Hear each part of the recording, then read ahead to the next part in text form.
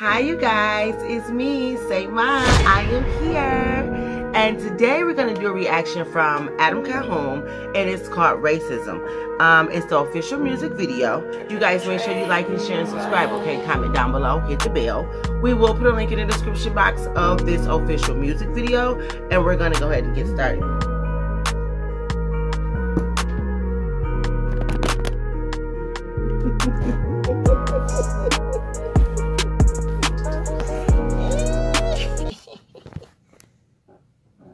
We're still going to go ahead and get started. Hillbilly, nigga, white trash, fuck you, nigga. What the fuck you rapping for? Cracker ass cracker, got your rubber flag with your camel hat backwards. Stains on your shirt with your fucked up teeth. Piece of shit truck broke down, middle of the street. Old lady bitching in the passenger seat, smoking like a chimney. Kids in the back can't breathe. Got a kid on her lap, smack his ass if he speaks. Always wearing white beaters cause her ass getting beat. Okay, that's white trash, but what about a hillbilly? Redneck motherfucker, never even near a city. Out in the woods, hunting deeper than the wolves. Get that big old buck, bring them home, eat until they full. Or they out in the shed, on the side drinking shine. Old lady bitching, better bring your ass inside. It's way past nine, drinking all night. Gotta get to work on time, up before the sunrise. They call me redneck, white trash, say it back. I don't care, kiss my ass. I don't care, kiss my ass. They call me redneck, white trash, say it back. I don't care, kiss my ass. I don't care, kiss my ass.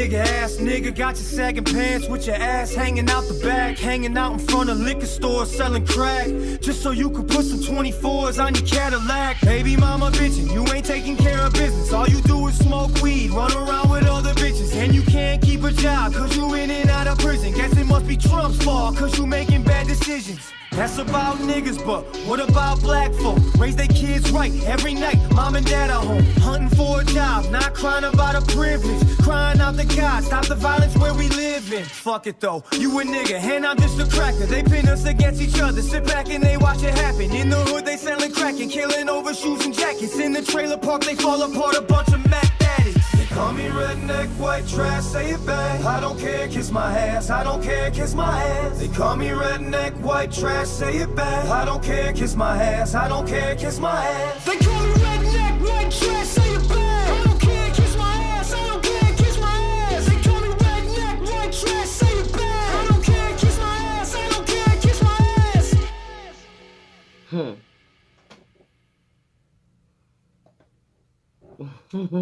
don't mm.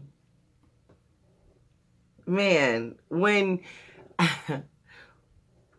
when I think of Adam, I think about the very, very first reaction I did of his, and um, it was totally um, the different a different Adam than what I see today. Um, I have grown to have a utmost respect for Adam and his music, and and and obviously his message as well because I'm rocking with this song, Racism.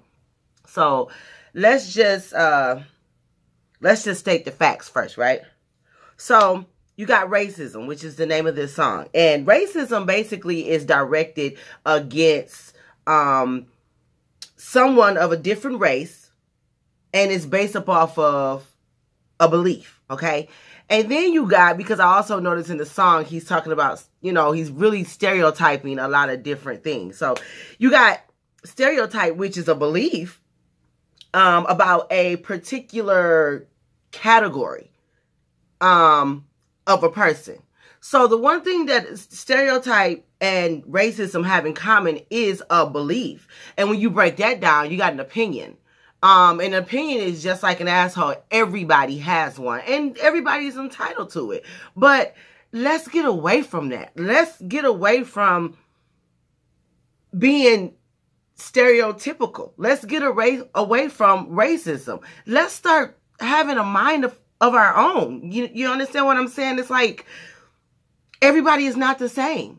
Just because you heard on the news that a man wearing saggy pants and a hoodie robbed the corner store does not mean that every man that has on saggy pants and wearing a hoodie is going to rob a liquor store.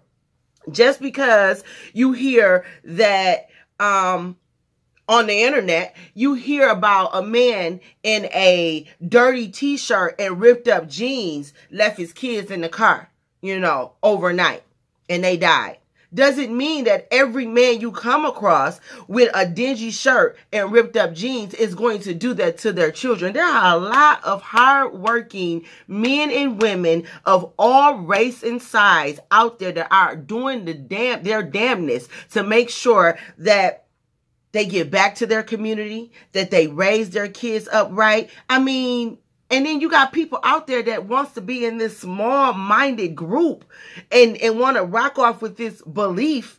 And it's not cool. It's not cool at all. People stereotype say mine.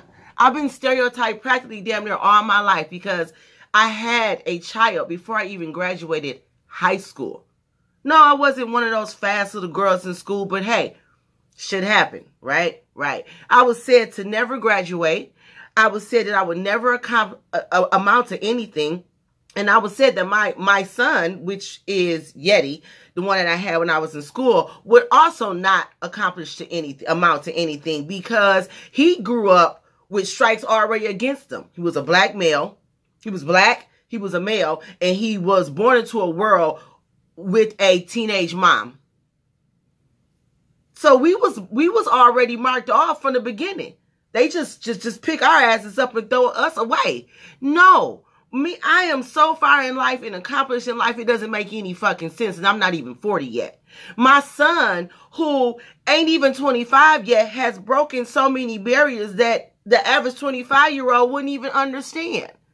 And I'm just thankful. I'm thankful that we are not small minded. I'm thankful that I did not raise my children to be uh, racist or to to really you know be in this small little box. And it's so sad. But i love the song. I love the video. And i love adam. And i love this message you guys. If you guys need to look back over the video again or listen to the song again please feel free. We it's going to be in the description box. Just click on it and watch it for yourself. This message is broad. Um i did notice that he used the word nigga in his video more than once and i still have nothing but respect for adam because it doesn't even matter. It's just a word. Let's let's let's let's stop making a big deal about the stupid stuff the simple things. You understand what i'm saying? Because shit Adam, my nigga, and I'm his nigga. It is what it is. It's just, it is what it is. Thank you guys so much for tuning in to this video. Wonderful message. And until next time, you guys, let's try to be mindful of each other, you know, and let's start looking at people as individuals and not placing them in one big ass category. Okay? Stay up, stay blessed, and stay cool. Don't think shit sweet cause you see money, this shit get ugly. My shooters with me being dummy, my